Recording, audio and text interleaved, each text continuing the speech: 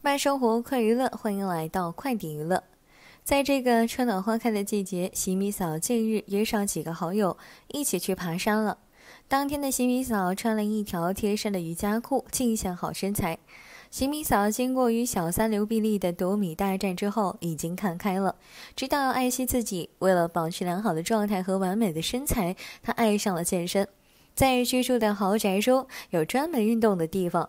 洗米嫂已经四十多岁了，但是状态很好。当天的她披散了长发，穿着清凉，大秀好身材，显得青春靓丽。他一会儿和友人站在吊桥上，一会儿独自站在青山旁，一会儿又站在湖泊旁拍照。唯一不变的就是大秀美好的身材。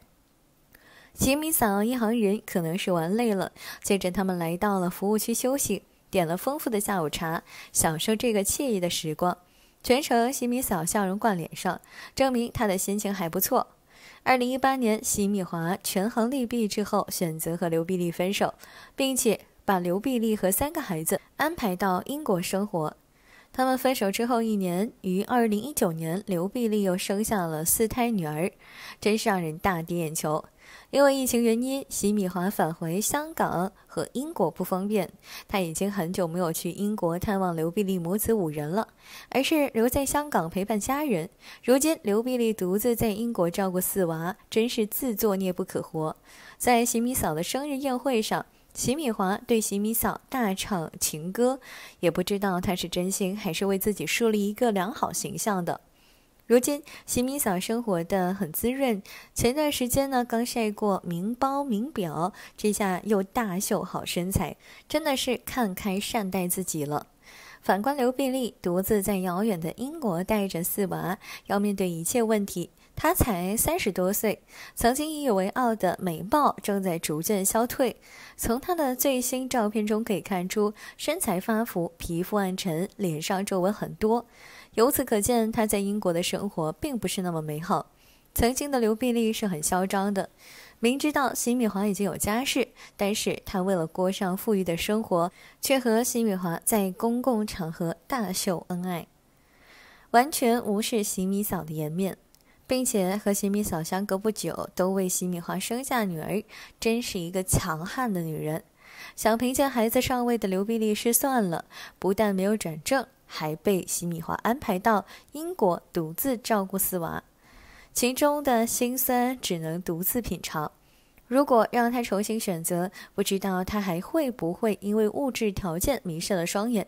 一条道走到黑，人生没有如果二字。我们都是成年人，要对自己的选择负责。只要选择了，不管多难，都要坚持下去。席米嫂是一个贤惠有能力的女人。她善待继子，孝顺公婆，在夫家的地位呢是没有人能撼动的。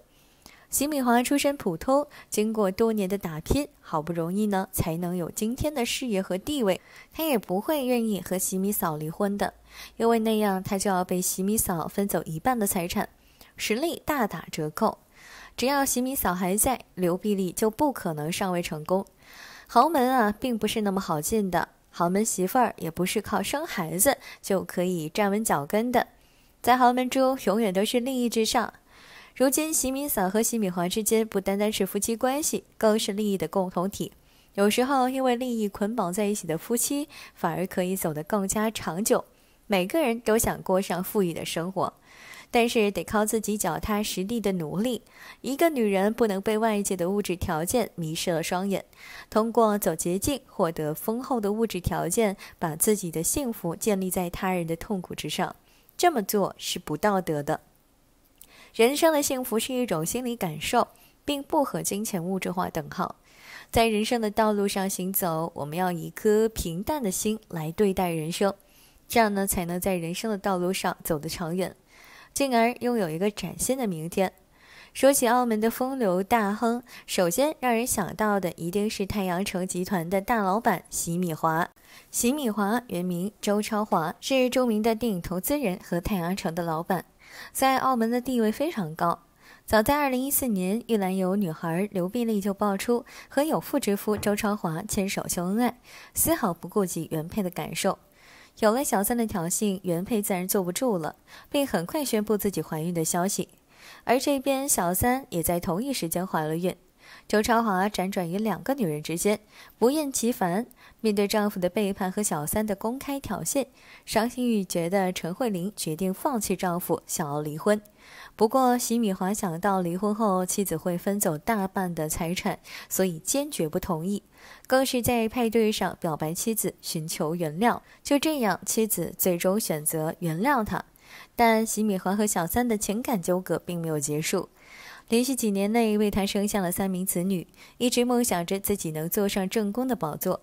只可惜席敏华不愿离开原配，导致二人之间的矛盾越来越大。伤心欲绝的刘碧丽经常和他吵架。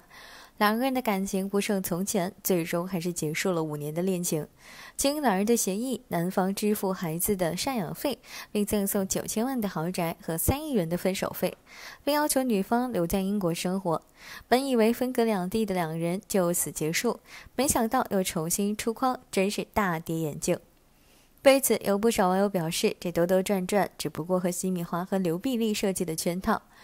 为的是防止周期陈慧琳瓜分大量的财产而布的局。而从最新的动态来看，夫妻两人的交流并不多，倒是小三刘碧丽卷土重来，以专栏作者的身份回归大众视野，妥妥的女强人的味道。更是在个人平台上公开自己的身份和三人之间的新闻，不再做形象包装，周旋于两个女人之间，没点真功夫肯定是不行的。对于他的发家史，大家都有所了解。最早，他是澳门赌场里拉客人赌博的中介，从中赚取中介费。在观察研究后，发现新的运营模式不收客人利息，而是将借给赌客的钱提前换成筹码，再从中拿走属于利息部分的筹码。邢敏华从中获得利润越来越多后，便不断的扩张赌场生意，慢慢资本越积累越多。二零零二年，澳门慢慢的开放赌权，网络急剧发展，博彩业步入正轨。席敏华看中这一契机，在菲律宾拿到了网络博彩执照，并开设网络博彩业，赚得盆满钵满，并在二零零七年成立了太阳城集团，涉足于电影娱乐界，身价已超过五十亿元。有钱人家孩子多，周家一共有六个孩子，大儿子周伯豪呢是前妻所生，之后认识了现在的妻子陈慧琳，有钱之后啊又和刘碧丽生了三个孩子。不得不说，周超华的确不简单。虽然周超华有不堪的情史，但是他的那颗爱国心却是真的。在二零二零年疫情爆发期间，太阳城集团通过中联办捐款三千万澳元支持抗疫工作。随后，周昌华以私人名义捐款一千万元，用于支持抗击疫情工作。同时，邢敏华还十分热衷于慈善事业。爱国是自己的天性，无法改变；而帮助他们是自己的本能。他将把更多的时间投入到慈善当中。不得不说，这样的举动不知圈了多少粉丝。虽然他的私生活呢，一直都是人们茶余饭后的热点，但是我们不能以常人的角度去评判名人的生活。希望今后他能带给大众更多正能量的举动，为社会多做贡献。